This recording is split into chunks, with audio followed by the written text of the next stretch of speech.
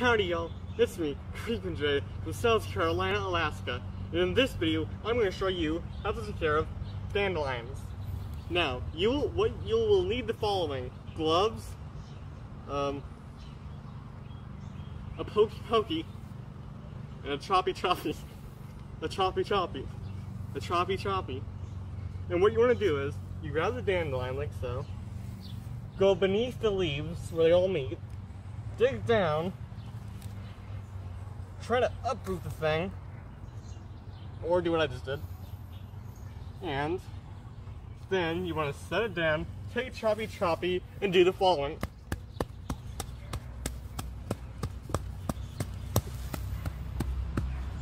And that there, folks, is how you take care of a dandelion. Well, make sure to subscribe because I'm suffocating myself for you guys. And bye-bye!